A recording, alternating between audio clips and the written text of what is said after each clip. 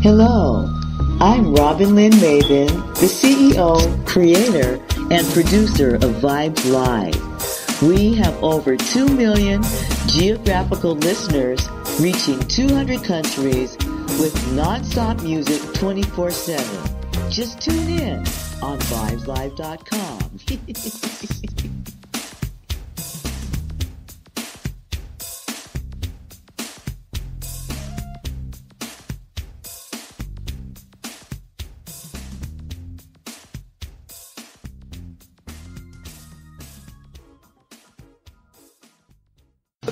that's what I like. I said it here, how you just don't stop it and just get ready to jam with Disco Daddy Wide World of Hip Hop Radio Show every Saturday at 1 p.m. Pacific Time only on VibesLive.com with special guests every week. Don't miss it.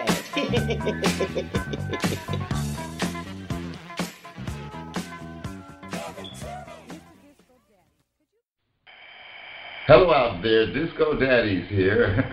Welcome to Disco Daddies Wide World of Hip Hop. And today I'm sitting here with my producer, um, helping me on this show. And uh, this is our debut show, our premiere actually. And uh, I'm honored to have uh, Robin Lynn Maven here uh, assisting me with this and showing me all the fine points of internet radio broadcasting, which is a new field for me. And I am honored to have her brother, Anthony DJ Antron Maven, on the I'm other end honored. of this microphone. I am really honored, my brother. You're one of the few people who go way back to the early days of Rappers Rap Records, who know anything about the history. Um, and I'm going to sit back. We call him DJ Antron, y'all, okay, because that's what he's affectionately known as. That's how he earned his professional name here on the Wheels of Steel. And uh, we're going to let you tell him uh, about yourself, my brother. And uh, then we're going to go into a little history of the West Coast scene that both you and I know back and forth and stuff. So, Anthony Antron Maven, Yeah, that's right. welcome Um, to Disco Daddy's Wild World of Hip Hop. What's up, my brother? history goes back to I was actually on the Greyhound bus on my way to Los Angeles for the first time when I heard Disco Daddy on the radio. I had my headphones on. That had to be 1981, right? Right, that. I said that. Okay, okay. I okay. I was in high school. so Mhm. I'm on my way and rappers rap was my life. Mm. So, so I moved to LA and I got into the hip hop scene and I met Duffy and he became my first manager and I became a, a recording engineer and I met everybody. Duffy. Rhodes, who is the founder of Rappers Rap Records. Oh yeah, he was my manager. Right. Uh, Okay, let, let me Uh, ask you though, what what made you decide to come to LA in the first place? Why were you on that Greyhound bus? What was the first initial motivation to move from what San Diego? Was it San Diego? Yeah, my father snatched me. okay. He took me out. meaning of meaning he, he, meaning I- what? I- he had something I- going on. Or they brought you in on it. I couldn't stay in San Diego anymore. I was too much. So my father said I got to take him. So mm-hmm. it, it, Okay. starting I think in my all been there as young in men, high right. school, my mm-hmm. father took me and moved me to LA. Got you. And, he was already a musician um, Mm. from Seattle and in, in lots of bands, and there's a lot of history there we don't have to talk about. But Right, right. but he set me up with all the equipment I needed that I would play around with the music. So I'm not just a DJ; I'm a musicologist. It's Mhm. about the music, the sound, the style. I would study the music. I would write the music. Plus, I'm a drummer. I'm a musician, Right. Oh, and um, I didn't know that. and it, it, my father was an audiophile. What that means is he had all the best equipment. so I would like really listen to to the sound quality, the fidelity, and you know he had Mhm. albums and record pulls. He's got everything. So I'm just playing around with his equipment when he's gone. Right. Hmm. So in high school, I was the most qualified, the most advanced. So I just took over, and this is South Los Angeles. Hmm. Now, that's interesting. But I think when you get here, exactly what goes on, because you're also a part of a very special institution known as Radio and then radio, later Radiotron. So tell us a little bit how you fell into that, how you got it, because you got to meet some very interesting people at the outset of the dawn of West Coast hip hop. Oh yeah, yeah, yeah. Uh, Radiotron, I was looking for. I couldn't find it at first, uh, mm-hmm. back when the glove was there. So I, mm-hmm. I always give the glove credit. Uh, I didn't find it when he was there, but then um, radio station K Day had an ad. They said DJ contest. so I just went to that. That's mm-hmm. it. I went K Day mm-hmm. said DJ contest, and we caravan to the Radiotron, and I already um, I already made a record before that called Scratchmatic, Sound of the Street on some record. Okay. Yeah. So so I had a following. So when I right. came in there, I just swept it. Wow. wow. And wow. and a DJ battle, and it was mostly about the crowd. It, it was the ju- It was judged by the crowd. Okay. And I'll tell you the secret: the girls. of course, the girls are secret to everything. yeah. No, I mean they, I used to go there. I know they had some fantastic females they did. there. For me, that's so funny. I saw it. I, uh, cause, cause my best friend, um, my number two, he said you cheated. He said, "Oh, you just won because you had the crowd." And I said, "Isn't that how you win?" exactly. You rub shoulders at the beginning of your career with other people at the beginning of their careers at the radio? Because you want to drop some names on us, my brother, so people see how deep uh, you go in this uh, West Coast uh, hip hop scene? Of course, I was a battle DJ, which means I didn't make friends. I made enemies. Mm-hmm. I went straight through. All right, I'll drop the mm-hmm. top one. Okay, face to face fist fight with Ice T. Righteous. Okay. Um, I didn't fight Dr. Dre because I was tired. I just said I don't need any more enemies. For some reason, I didn't. I didn't fight with Dr. Dre because I just was, I was done.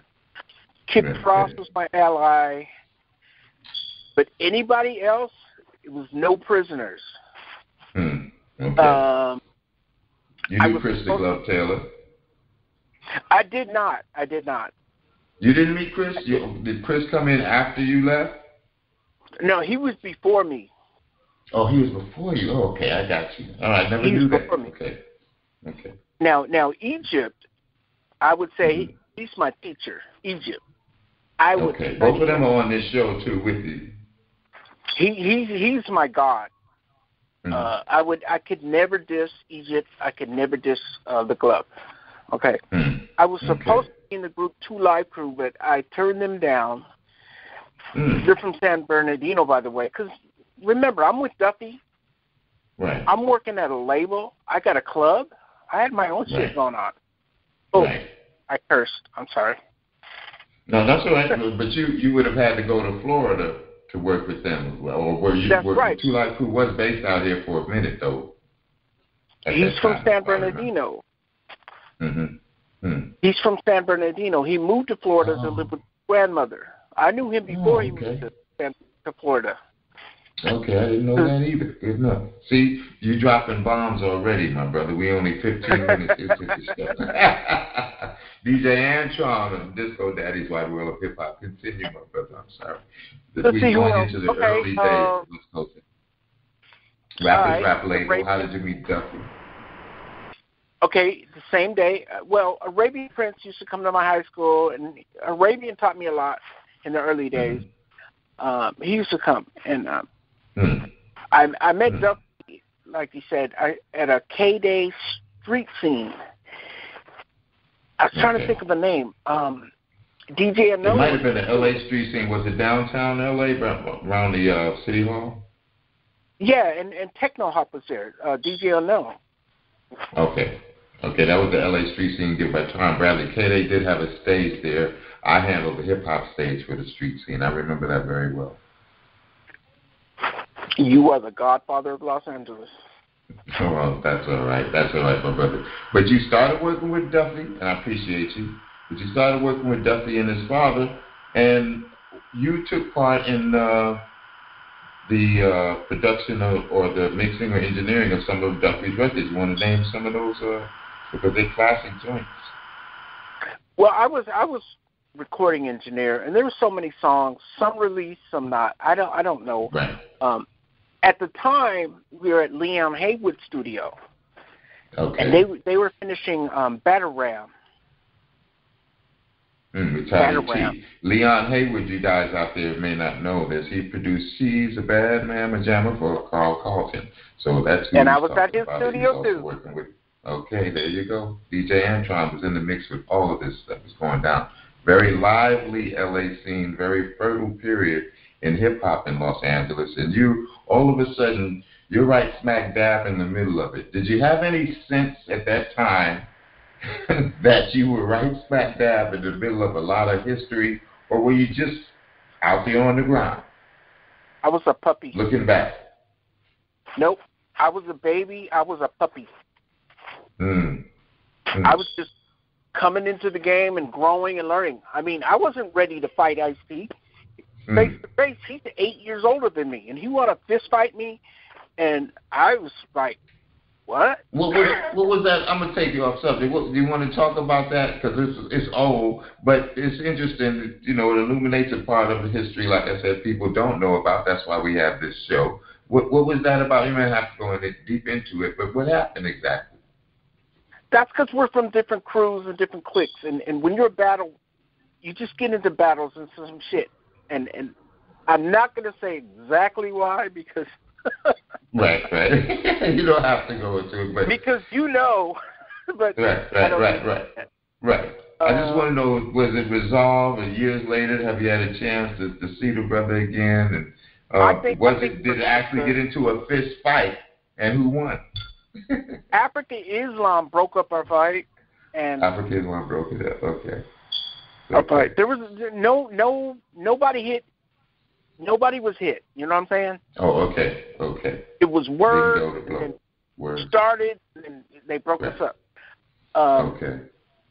QD3, Quincy Jones III, he he settled all beefs. There's no beefs anymore in LA, not through us. Okay. Beautiful. So Beautiful.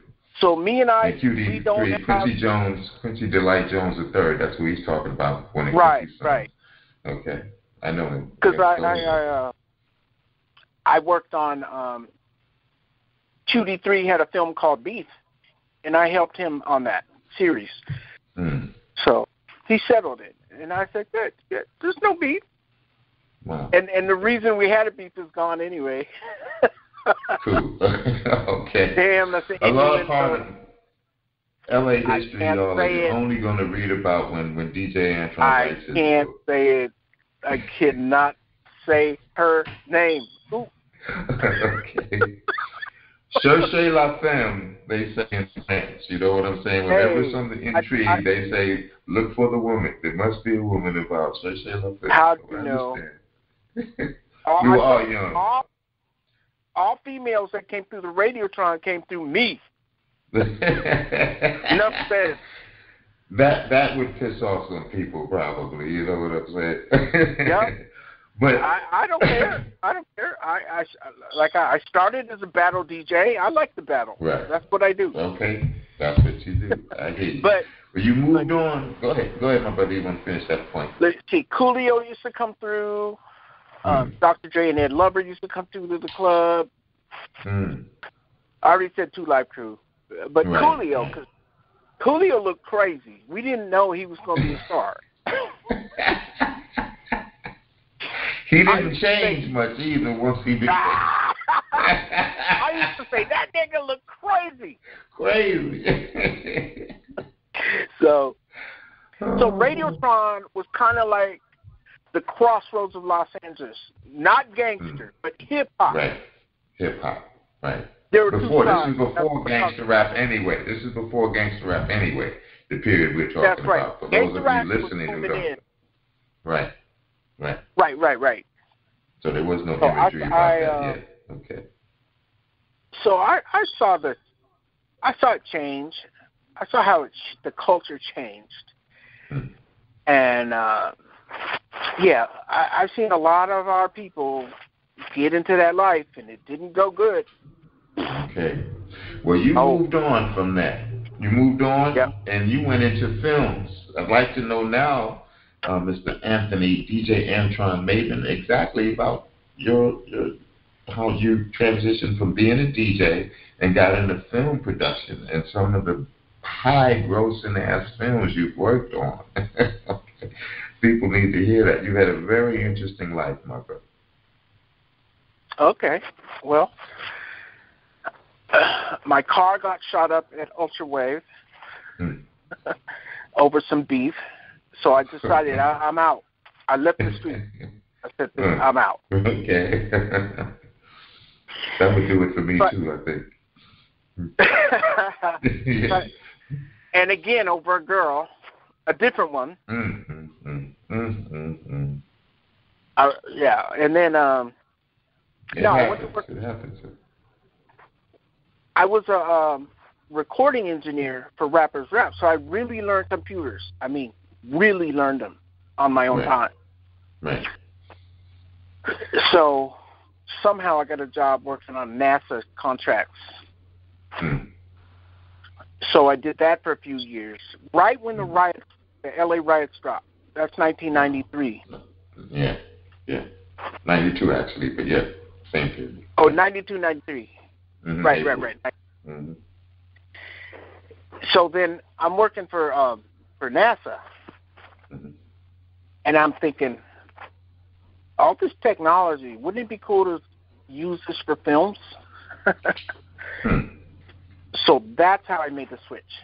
So it took me four years, and then the first film I wanted to work with Arnold Schwarzenegger, so I I, I, I did, and then Michael Mhm. Jackson.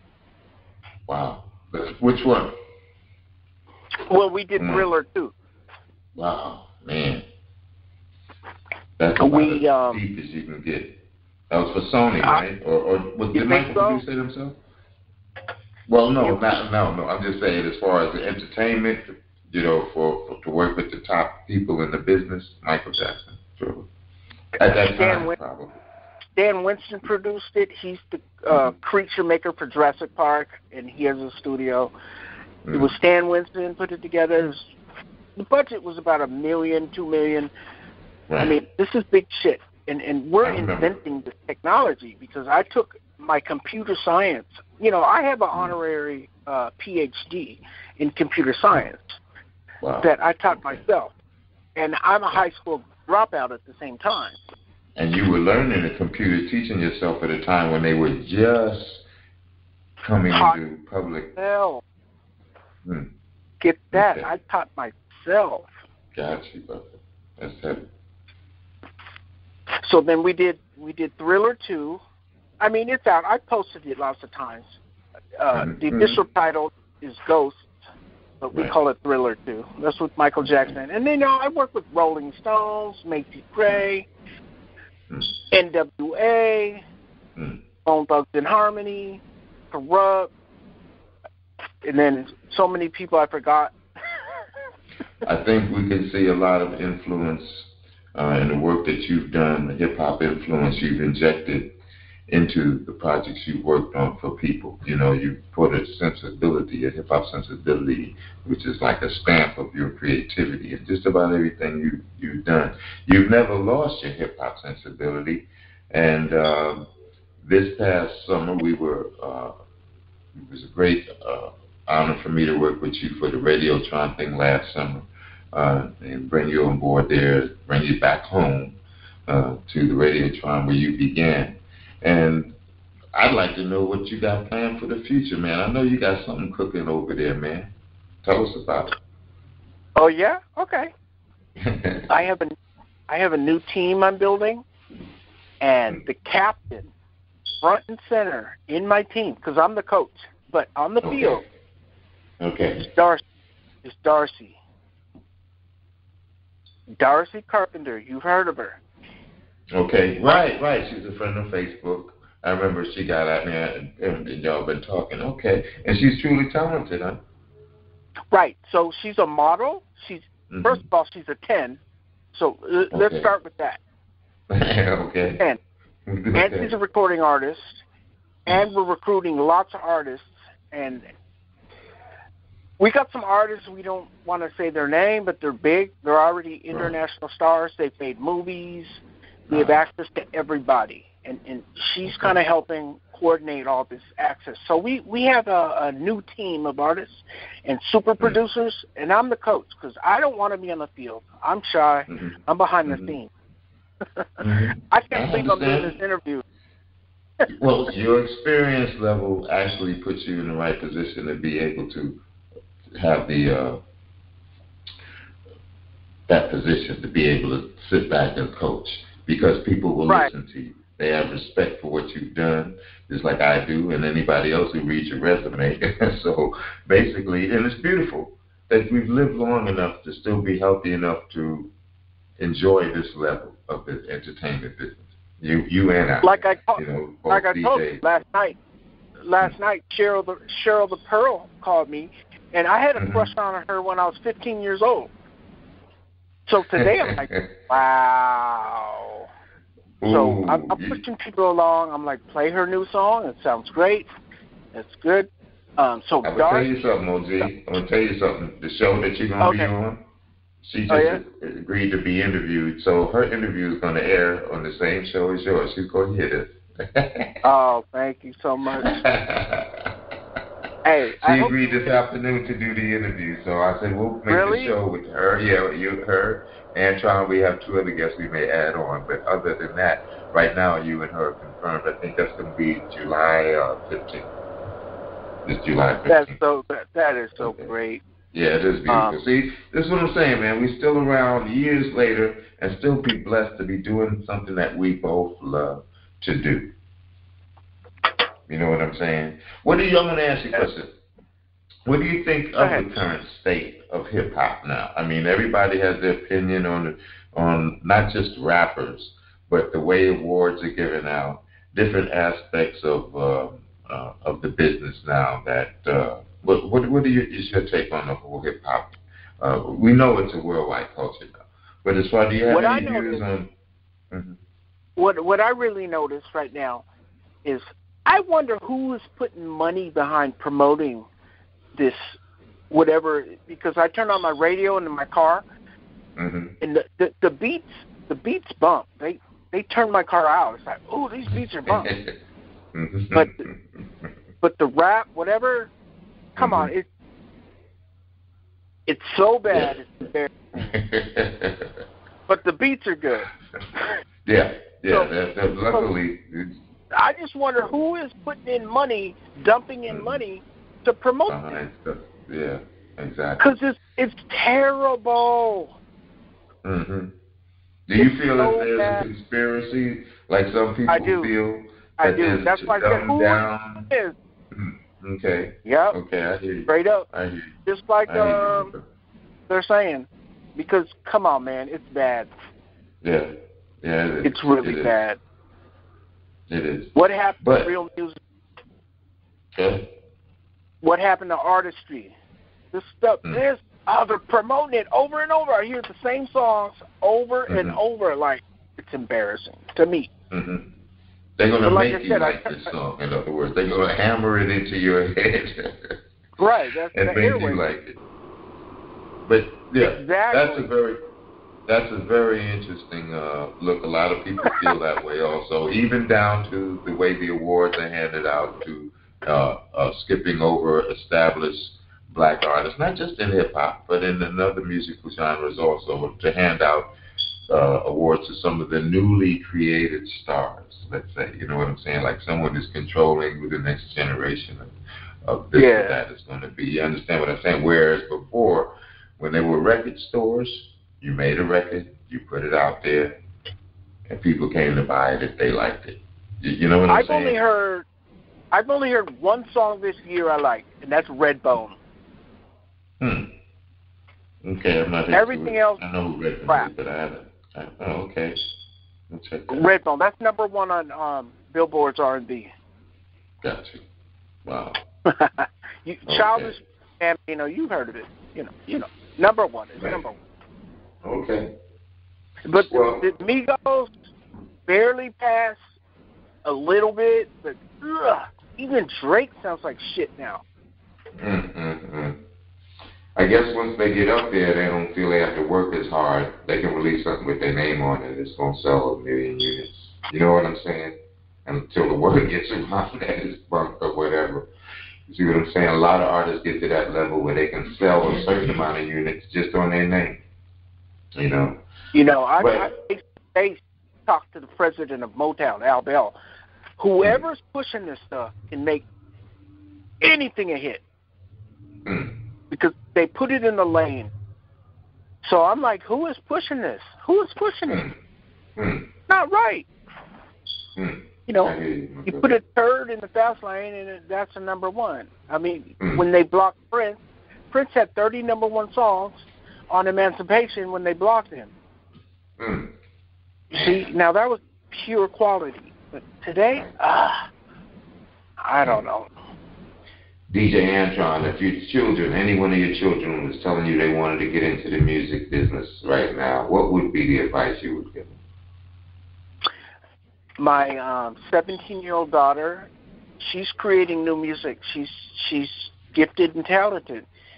So she's going to make new creations, and I'm I, I I give her the tools. I bought her all the uh, equipment she needed, Mm. so she's being creative. You know what I'm saying? She's still in high school, but she's she's Okay. making new stuff, Right. and Right. she's doing spoken word, which is it's not rap, but you know what I'm saying. She's being Yeah, creative. Yeah. Okay. So she might she might create something. Who knows? I would like I need to hear something new. I got you. I got you. But you have no reservations. You wouldn't tell her, well, I don't think show business is a good thing to get into or anything like that. Um, you have a ba- ba- basically a balanced view of the whole thing. no, all my kids are in college for for you know, my my oldest, she's 23, she's going for her PhD in psychology. To answer your question, Mm. that's going to be a side thing. The first thing, get your education, get your career, and get be solid. There Because you cannot wish on a hope, because it's not guaranteed. Yes, sir. Yes, sir. And you've heard years of wisdom talking to my audience out there from Mr. Anthony, DJ Antron Maven. What he just said is the result and accumulation of years of experience in this business. My brother, we want to thank you for everything you've done in hip hop. You're one of the most unheralded, unsung forces behind a lot of the popular uh, music that uh, emerged from old school LA. And uh, I want to thank you, and I want to thank you for doing my program, being gracious enough to introduce me to your sister, who is the producer of the program and who is a That's one right. kind in herself. she is a world unto herself. Yes, a genius in what she does. So I feel like I'm with family right now. She's sitting here and I'm on the phone with her brother. You know what I'm saying? Yeah. Has been a beautiful interview. And uh, my brother, I want to wish you a blessed day. I wish I had another half an hour to spend with you, but you know how radio is. Okay? But I love you, DJ Thank you so much. and I want to wish you the best in anything that you do. You got Disco Daddy support. Thank you so much. Thank you, my brother. Peace and blessings. We out, y'all. Disco Daddy's wide world of hip hop. Vibes Lives has something very special for you right after church. Gospel brunch and sunshine. I am Robin Lynn and join me for Jazz with Jay every Sunday and a glass of wine on vibeslive.com.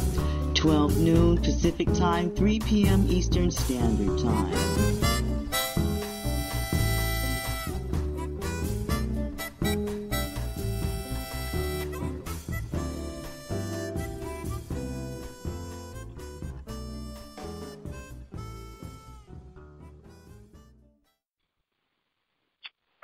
Out there, Disco Daddy here. Welcome to Disco Daddy's wide world of hip hop. And today, we've really all been blessed. We've been blessed with the presence of a man who goes way back to the beginning on the West Coast of uh, the um, beginning of hip hop recording, and uh, he's known as Mellow Man Ace. How you doing Oh. today, my brother? Yo, yo, that's a great intro. I appreciate it. I'm doing well. But I, you know, I won't say I was here in the beginning. I'll say maybe not not day one, but day two for sure. Okay. You was day one. We- you was day one. I'm a day two. But yes, thank you. okay, we're going to let you break it down because this is what we're going to do. We're going to let you talk about your early days, where you were born, grew up, and what influenced you to go into uh, music, and basically what Mellow Man Ace is all about. So start with your earliest recollections, where you were born and grew up. Yeah, Mellow Man Ace on Disco Daddy's Wide World of Hip Hop. no doubt. Um, I was born in Pinar del Rio, Cuba, um, in in Cuba, of course, uh, 1967. Um, migrated. My family migrated after I won the Cuban lottery to leave the island uh, in 1971. Um, Wow. Spent small time on the East Coast. Of course, we were claimed in Miami by a family member that was already here. He took us Mm. into Jersey, and then uh, my parents chose the relocation of Los Angeles based off the weather and that the ground only shook once every 20 years. So Hmm. um, we've Wow. been in LA ever since. Um, my earliest recollection to music has to be my grandfather, who I'm named after, uh, Ulpiano Reyes. He was a Mhm. great composer in Cuba. He composed the Cuban national anthem and about 16 danzón rhythms on the Wow. island um, that were famously re-recorded by other artists as the years went on and that's my earliest recollection of music because my father um used to write his notes for him as my grandfather didn't know how to write music but he could play it so my father Right. would translate his lyrics onto the sheets i'm sorry not the lyrics the notes and the music, um, yeah. the music so that was my earliest recollection seeing my father writing on this line paper these funny little notes and whatnot. But um yeah, Yeah. and then when we got to the states, I, I you know we were heavily influenced. You know, as I started to realize and come of age around seven or eight years old, you know, we would hear, you know, the Isley Brothers and Steely Dan on the radio, and uh the Mm. Jackson Five, and uh of Mhm. course LTD and all those groups, you know, um, and later Right. on really starting to understand what it all meant, you know. Of course, even Elvis Presley, we would hear those records. Um, uh, you know, there were so many influences. You're talking about, you know, one of the most important eras of music was in the 70s, and you had Yes. so many things going on. You had everything from the Led Zeppelins to Ohio players, and you know, of course, Motown. Parliament and Cameo as they came in, and and you Right. start to really hear these records but that's that's my earliest recollections of of music. And i think in sixth grade uh the tallest girl in the class her name was madre cross. She invited There's always a girl in the story. yeah yeah well ahead, madre always- cross uh invited me to dance at a at a school dance and i was able to finally you know show her what my older sister myra had taught me on the dance floor. And um i believe um man, if I'm correct, it had to be one of those um Isley Brothers songs. I I forget if it was Who's That Lady or um or uh I'm sorry, um drawing a blank here. It had to be Fight the That Power was Lady? the up tempo, one of the up tempo. Yeah, it was Oh, I got work to song. do. I got work to do. Mm-mm. Okay, but it was up tempo was- rocking Isley singing. Yeah, yeah. Make a long Mhm. story short, but Mhm. yeah, no doubt. That's pretty much it. That's the beginning. You know what I mean? It where where I started to No, really she asked, she asked understand dance. music. But what what happened? Well, yeah. I mean, we were innocent kids at that time in the '70s. It was sixth grade, you know, so nothing happened after that. We be. Oh know, no, you were just mentioning friends. that was the that was the musical influences that were around you at the time. Yeah. Mhm. Okay. Yeah, and you know, you, started to discover everything else after that.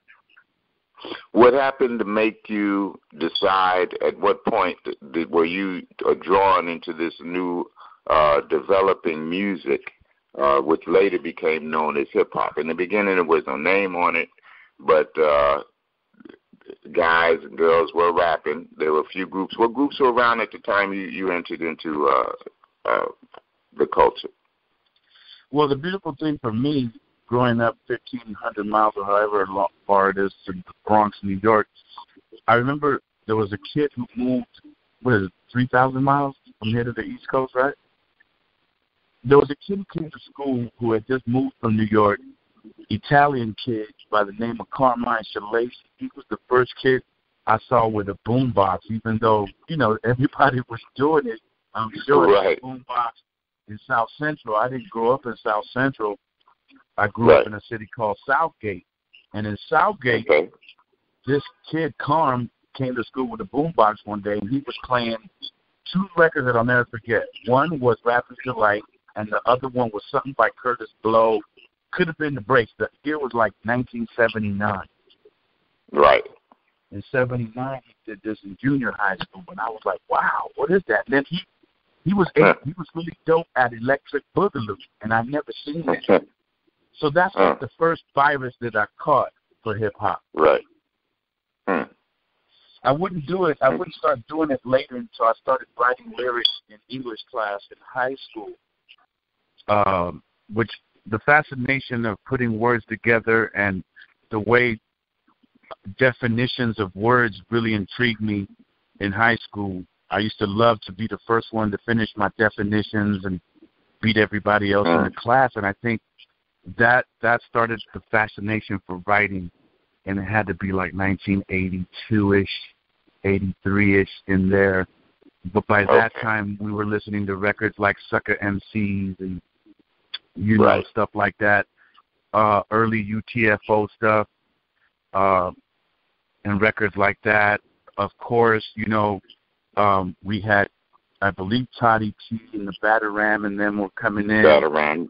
Yeah. and we were, uh, you know, of course, um, well, world class wrecking crew, and those are the Mhm. records that you know now in the '80s I started to listen to, and Egyptian Lover, and all those guys.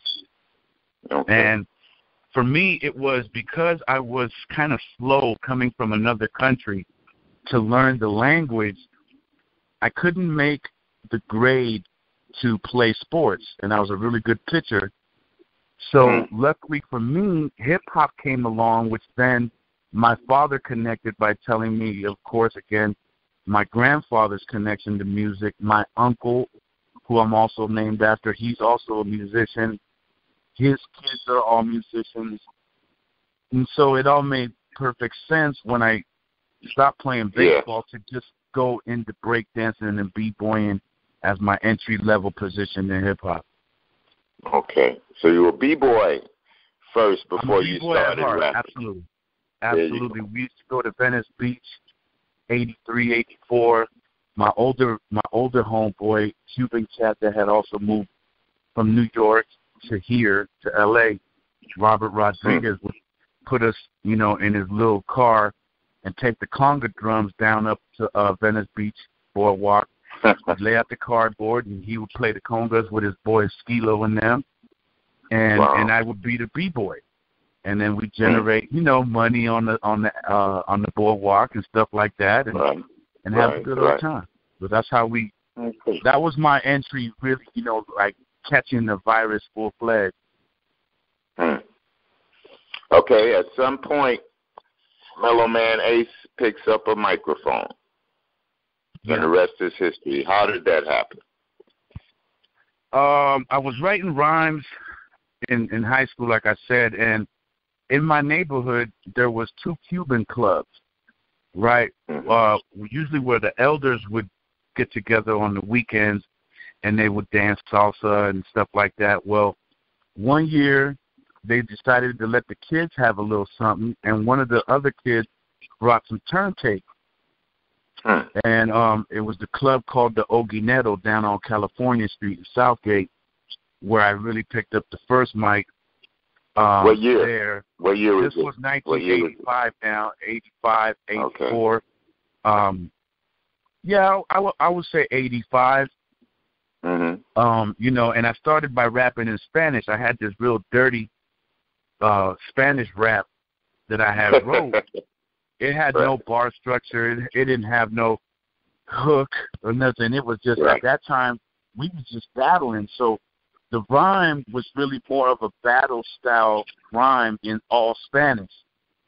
okay. But by that time, I had heard records like the Mean Machine Disco Dream, Mm. which is where a, a classic hip hop record on Sugar Hill Records, which one of the MCs by the name of Mr. Schick broke off into a like a eight bar Spanish rap. And I remember thinking to Mm. myself, one day I'm gonna be like that guy. Except okay. so so back then, remember you couldn't just bite, right? So right. I said, I'm going to take that little piece and add on to it and make my own originality. So I wrote a, a, a whole song. And then later on, I would create the bilingual rhyme style that became notorious. Wow. Okay. So you pick up a microphone, you start rapping. Um, eventually, you either get discovered. How did you start first record your first record?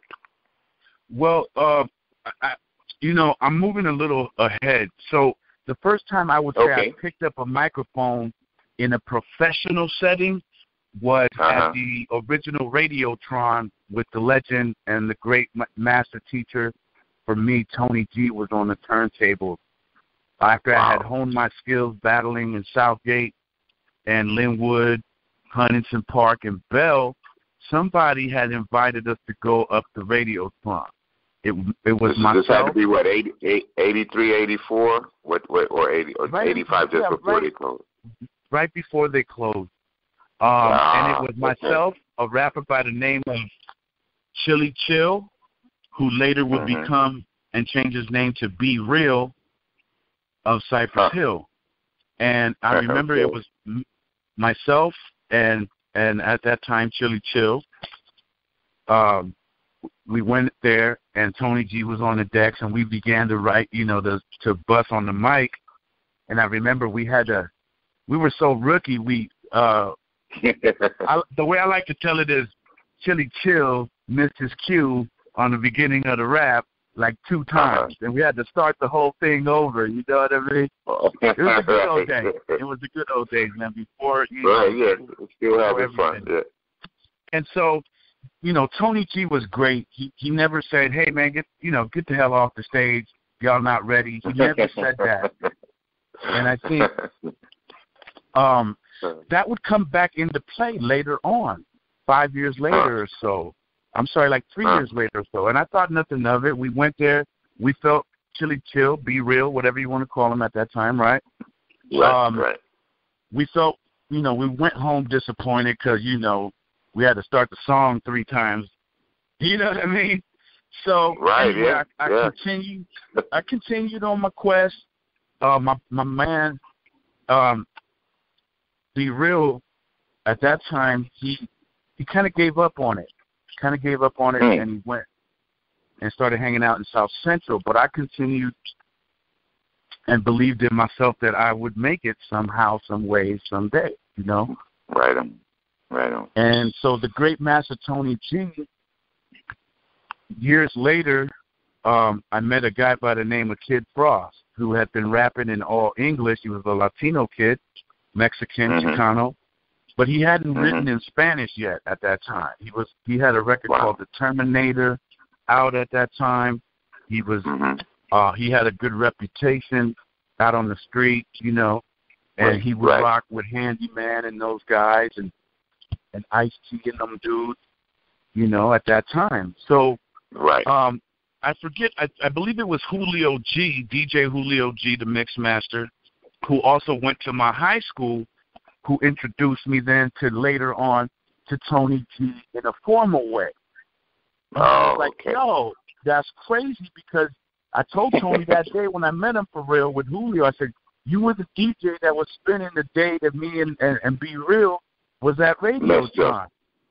hmm So then that's when it all started to make sense because as I then got my first record deal on Delicious Vinyl in 87, 88, Tony G I went to to be the producer of the track. Wow. The tracks, you see. Okay. So mm-hmm. that's how it all came together. And, and to, it was Tony G, the great, I call him the great master teacher. He's the one that really showed me how to write in bar structure. What's a hook? What's, you know, what is two bars? What is eight bars? What is 16 bars? Wow. All these things, wow. I had no idea what I was doing. Right. All I knew is that I had a record to make, and you know, I was I was lucky at that time to be in the right place at the right time. At the right time. Is Tony T still around? Tony G is still around. He's still Okay. around. Um, he has a studio in El Monte, and, and he's doing his thing, and he's he he puts on some type of scratch act, academy school and and things of that nature. So yeah, Okay. So now, at what point in your career did you adopt the name Mellow Man Ace, and where did that come from? no doubt. Um, Mellow Man Ace came from a cipher we had on Cypress Hill Avenue, um, in Southgate Mm. at the time, and Mm. uh, remember we used to walk around with a little tape recorder with the mini cassettes in them, right? one right. one night we getting blizzied out, you know, forties and, and whatever, and somebody Mhm. started banging a beat on a car, on a car hood, and it was Mhm. myself, my brother, who at that time his name was Haji Sheik. Y'all might know him as Sen Dog of Cypress Hill. He was a Wow. really big Egyptian lover fan at that time, so he called himself Haji Sheik, right? So it was myself. Right. At that time, I went by the uh the rapper Ace Cool because I was. Mm. starting to be a big LL Cool J fan and anything cool, Okay. DJ Cool, Red Alert, all that stuff. Right. So I now, what year? What year? Cool. What, what year is this happening? What year is this happening? Now we're talking about now we're talking about eighty six, beginning of eighty seven in there, okay. right? So we're one night we just getting blizzied out in the hood. Somebody start banging a car, and but my boy, who's his name is Tomahawk Funk, a Funkdoobiest. Tyrone also grew up with us, right? Wow. So he starts busting the rap, and he says, "I'm chilling with."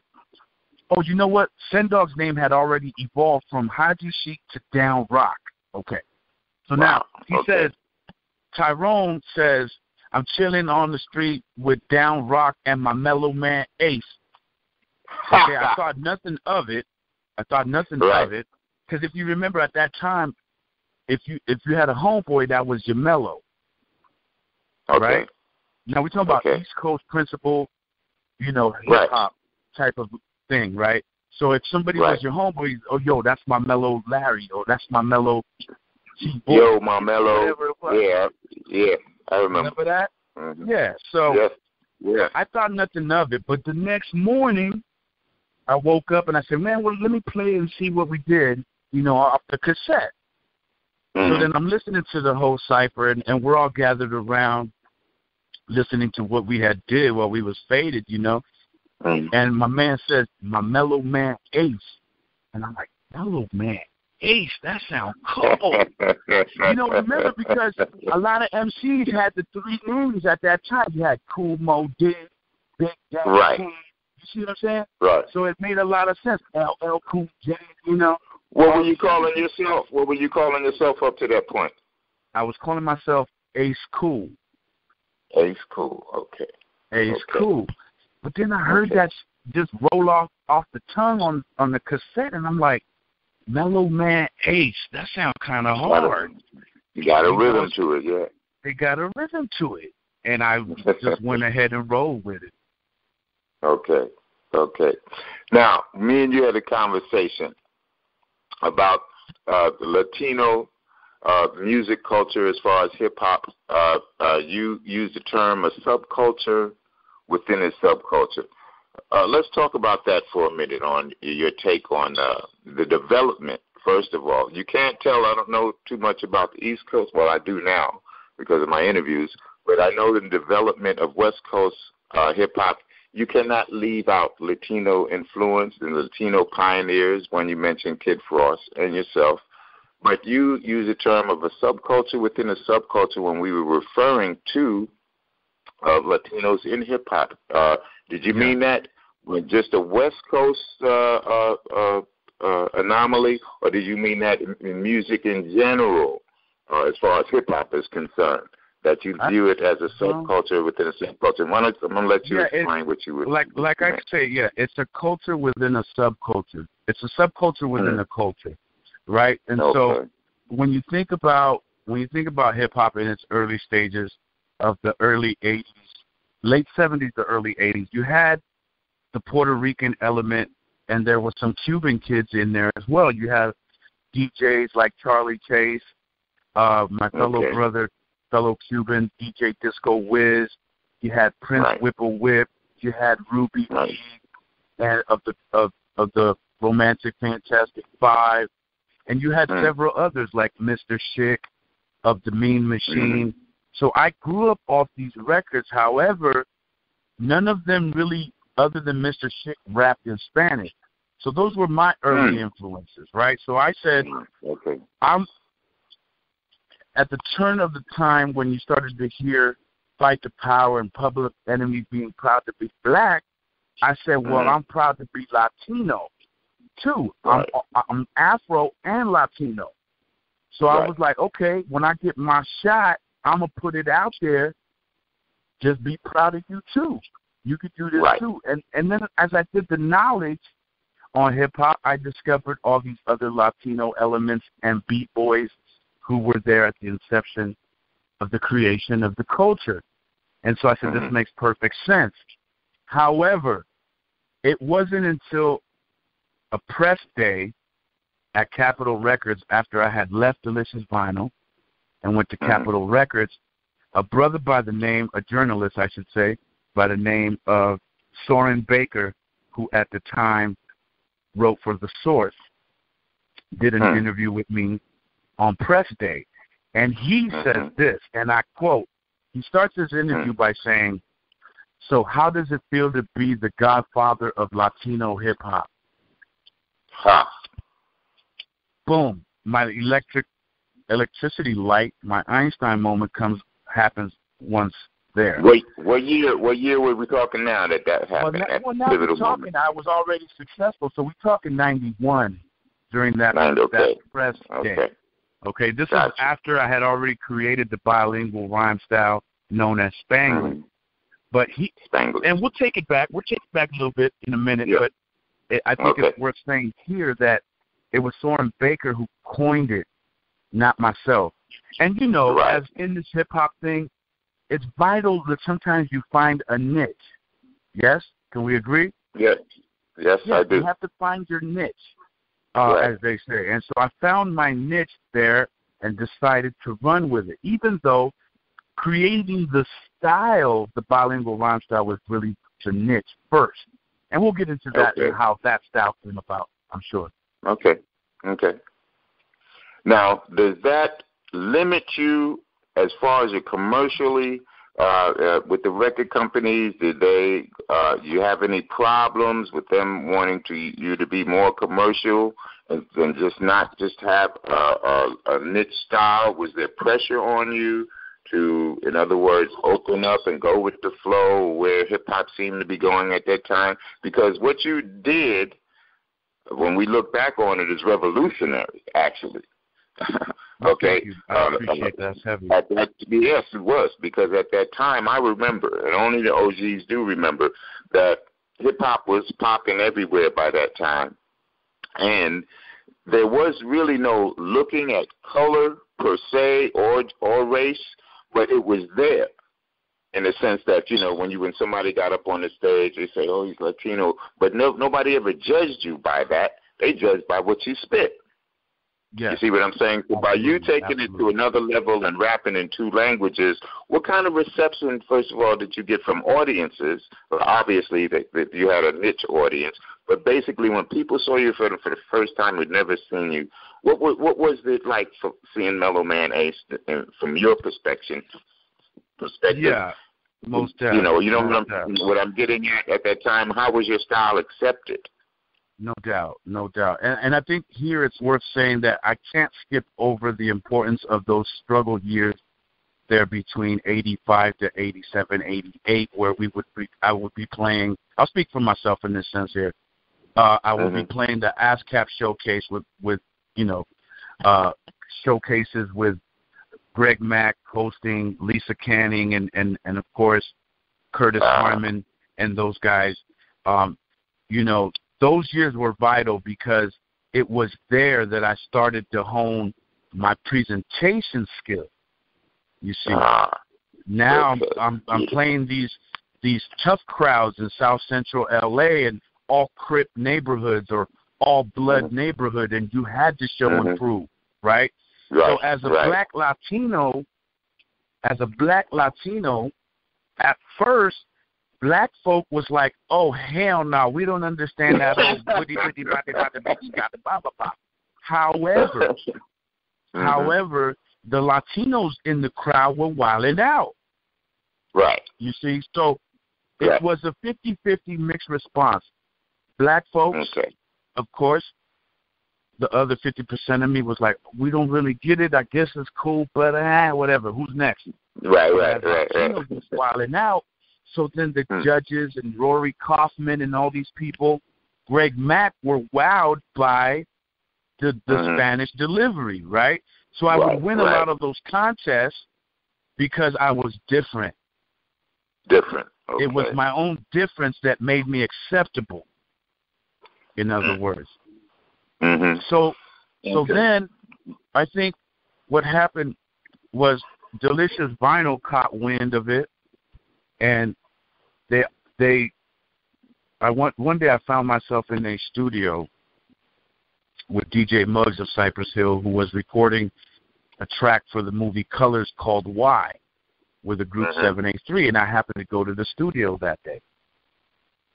And so Delicious Vinyl says to me, "Hey, we just signed a guy by the name of Tone Loc and another guy named Young MC we're looking for rappers to sign. I'm like, I rap. I rap in Spanish too.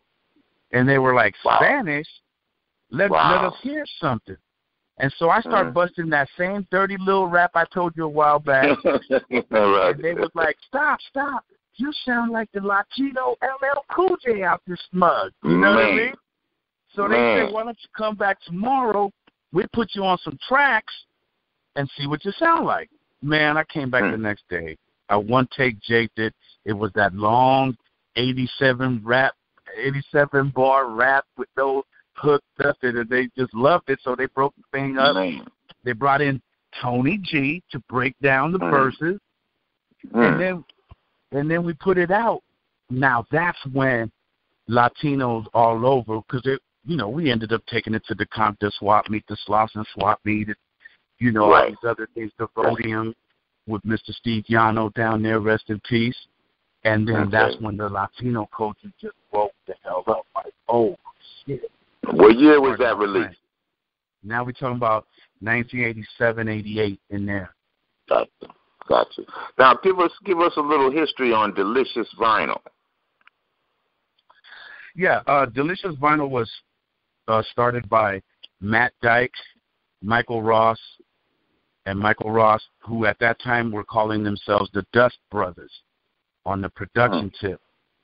It Mhm. was just two two white boys who later I found out were Jewish actually, right? And okay. they were just starting this thing out of this little uh, t- uh, on top of an appliance store down on Melrose Ave, I believe it was, or uh, Santa Monica Okay. Boulevard, right? One of those. I, I forget what street it was on. And and Okay. they, I ended up there that day. But Delicious Vinyl was key in believing in Spanish rap as the first label that that really Wow. stepped to the forefront and said we want to put this out. Wow. And of course, you know everybody knows the Dust Brothers, who then produced for the Beastie Boys, and you know, and and then would do stuff with Rick Right. Rubin and all those guys. Right. And you went from there to Capitol. What was the reason that uh, the relationship dissolved with Yes. Delicious? But no, it did. It never did. Actually, and to this Oh, day, we're very good friends, and I I was just with them down uh, on the weekend. Here's how that happened. Wow. Uh, Delicious Vinyl sets up a concert at San Diego State University for myself, Tone Loc, I believe Young MC was there, and a legend from New York by the name of T La Rock.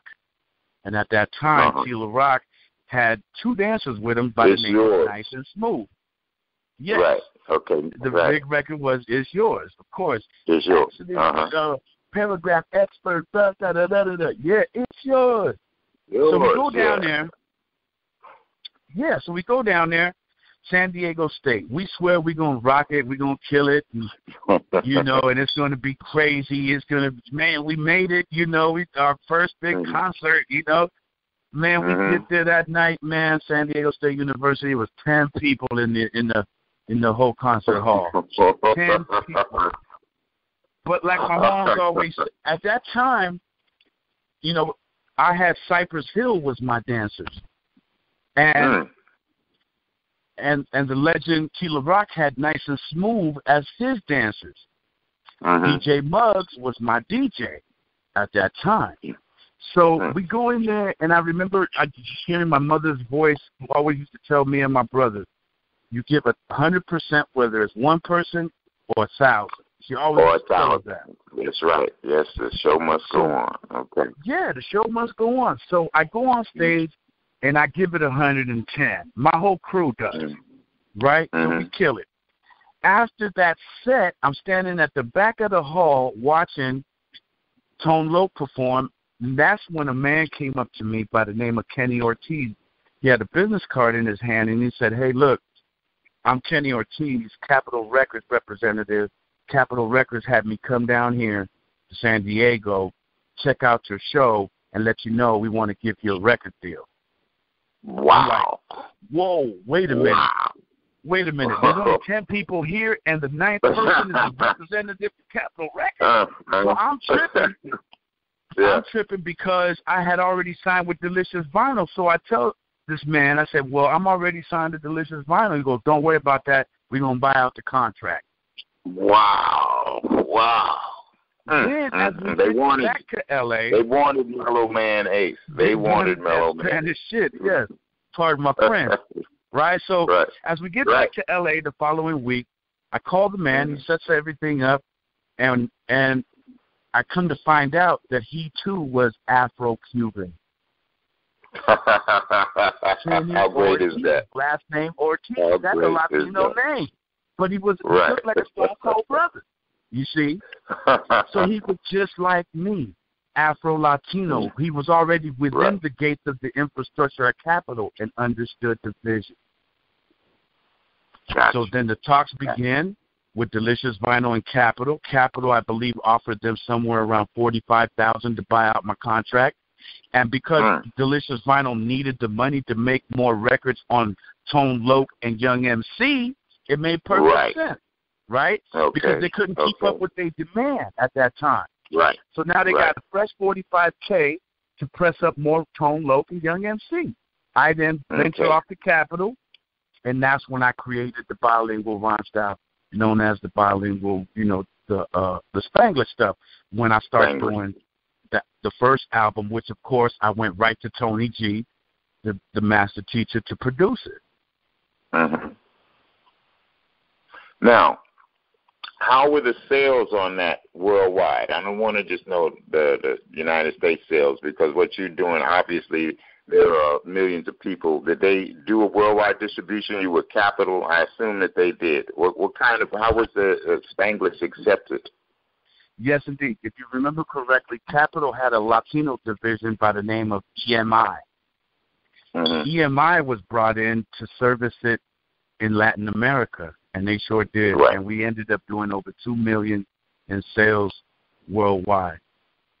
Man, man, I have the that is a, a, a record. That had, you had to establish a record for a Latino artist in hip hop at that time. I'm sure. Well, yeah, I mean, it wasn't the norm, being that th- these records of mine, the the first one, the dirty Spanish rap, and then uh, when you talk about Mentirosa, that really set the standard and opened the door for Latinos on a bigger level because I never closed that door behind me, you see. And so Right. then by then, you know, we got to see Kid Frost started to rap and got with Tony G and started to rap in bilingual format as well with me uh, in Okay. our camp, right? Yeah. So then, Right. of course, that opens the door for Cypress Hill. Then later, a, a year or two after, and then they dropped, you know, how I could just kill a man, and the rest was history on that. But then Mhm. lighter shade of brown was able to get in. You see what I'm saying? Little by little, then we So- started to hear Fat Joe and Big Pun and all these other guys come through. So you were the pioneer, the foundation of all of that. Although not many people will point at it and and say that, but I'm going to say it uh, because Well- obviously what you did reverberated throughout the Latino community, which had embraced uh, hip hop from the beginning, as we all know. But your you, you know what? I'm I'm not I'm not I'm not a prideful dude like that. I'm gonna always give props to the one and only Mr. Schick of the Mean Machine. He's the one that really showed me my future. wow, okay, that little Spanish rap piece in that one song toward the end, I saw a Mhm. bigger picture. So I give the credit to Mr. Schick. There are people okay, who don't know who this man is. He was a great Puerto Rican rapper out of the Bronx, and he deserves his props and his credit. I'm just the one that took it global first. okay. Mellow Man Ace, what would you like the world to know about you, and what are you working on now? We've got about uh, two minutes to wrap this up, but I want to know what your current projects are. Uh, I know you got a release out, and what does the future hold for Mellow Man Ace? Okay, man. You know, to be honest with you, um, um, I just I'm very approachable. Um, just want the fans to know I'm very approachable. I'm very humble. I've had my moments in life that have given me my humble pie, and I and I I'm thankful for those lows as well as all the highs, and I think they've helped to make me a well-rounded man. So just know that I'm approachable. I've never shunned from an interview or a, autograph or a, a photo op from anybody. So if you see me, go ahead and approach me. I'm a cool dude. You know, I stay humble. Um, what I'm working on right now, realistically, at this particular time, is nothing. I'm not writing Mhm. right now. Uh, I do have some projects out as as uh, last year. I put out a record called "So Rough, So Tough" that did really well for me on the underground level, um, Okay. especially at Sirius Radio. Um, you know, radio can be a very complicated realm. Um, Yeah. we try not to play that game anymore. Uh, and you Mm. know, in return for spins, you got to then pay it back out of your royalties and all these other things that occur there. But you know, uh, and I just recently, I, I I will say, I gave.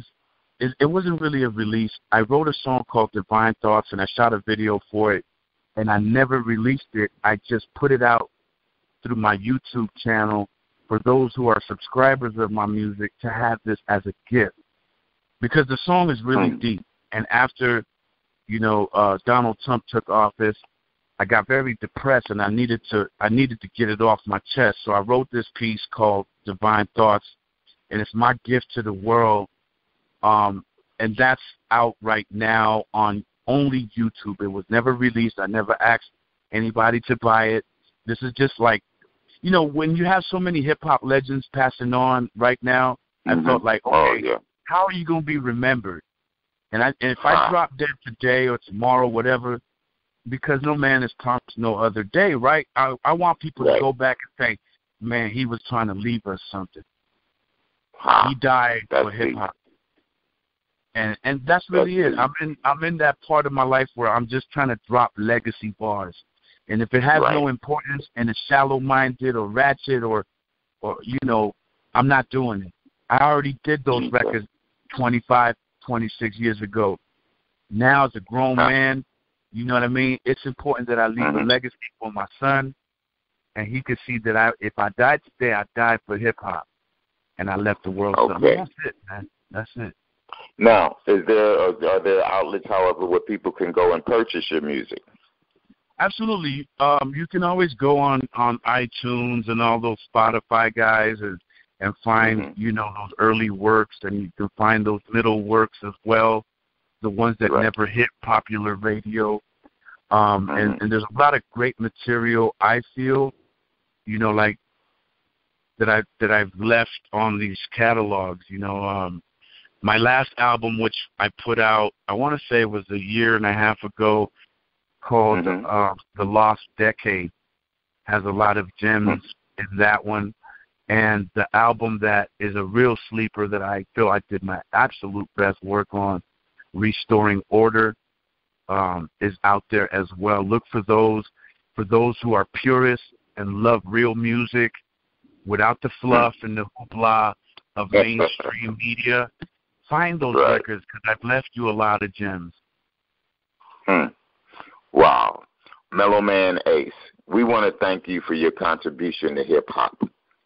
We want to thank you for your time coming to do this show. And we want to wish you the best, my brother. And whatever you do, we know it's going to be creative bomb. Mellow Man Ace, blessings to you, my brother. Thank you very much. Much love and respect. You've been listening to Mellow Man Ace, hip hop pioneer, on Disco Daddy's wide world of hip hop. Don't go away. We've got more guests coming up, and we're going to explore this worldwide culture that we call hip hop, a culture that we all love. Thank you. So, wasn't it a great show? Come back next week, every Saturday at 1 p.m. Pacific Time, 3 p.m. Central Time, 4 p.m. Eastern Standard Time. Disco Daddy's Wide World of Hip Hop Show. Man, it's a great one. Epic, epic. See you next week. Bye. Hey, what's going on? You know what I'm saying? This is Greg Boccaccio right now, you know what I'm saying? Mr. Clean Cut put together. Oh man, you gotta wait till you hear this, man. It's called Bob's Live number three theme song. Man, he got down and done it right, man. I'm saying, cause I'm listening to it and I'm like, damn. That. What the hell? We over here breaking records of the year. Uh, yeah. Vibes live, Robin Lynn, maybe. Got you playing again. Playing With again. the notion that we'll win. Gotta get you playing every single day like, hey. We over here and we doing it again. Popping for the top, DJ time to spin. Vibes live, character surprise. And the world vibes, straight for that exercise. Best talk radio of 2014. 2014. Robin Lynn Maybe on the big screen. The big screen. West Music, Florida, representing Mad Capital Records, fingerprinting. Mad Capital Life, indenting. Angel Sessions, Gospel Sensation, talking all them blessings. Fly away with Tamika Trayvon. Now you got to hear this. Hot up off the press, vibes live is out, is out, sparking interest. Young Chi-Town, Chi-Town, Ike Ellis, Southeast 360 Music, and Jerry Royce live. You got to hear this. Hear this. Willie Brown, and let's not forget about Freedom Doors and Ministry. Freedom Doors and Ministry. I am Vibes Live, two fingers up, clean cut surprise. No surprise, I do this for everybody, honest guys. We over here breaking records of the year. Uh, yeah. Vibes Live, Robin Lynn, maybe. Got you playing again. Playing With the notion that we'll win. Gotta get you played every single day like, hey. We over here and we doing it again. Popping for the top, DJ time to spin. Vibes live, character surprise. And the world vibes, straight for that exercise. Yo, I step up and say step what's up. up. My name is Clean Cut. What As up? I throw my two fingers up, you say I'm so cool. So I got it, vibes live, so full. So Everybody full. say I'm sitting on a stool and I'm spinning, but then I'm winning. And then I'm taking over swimming and pimping. But you know I ain't lynching. Keep it off the one time, forgot to mention. Keep it going, freestyle pension. Everybody got to get a piece. I keep it real up in the game and I'm smiling, smiling with my with teeth. My they teeth. looking so bright. I stopped the smoking stop the smoking, I stop the drinking, stop the drinking, but I'm sober, see. Sober, I keep it real up in the game, they call me OG. OG, OG gets crazy when I'm lyrically, up in the game, got you feeling like insanity. Got you over, now you wanna see me triple X to B. Everybody wanna come and try to beat, beat me. Uh, we over here breaking records of the year. Uh, yeah. Live, live, Robin Lynn, maybe. Got you playing again. Playing With again. the that we'll win. Get you played every single day like, hey, we over here and we doing it again. Popping for the top, DJ time to spin. Live, live, character surprise, and the world vibes. Straight for that exercise.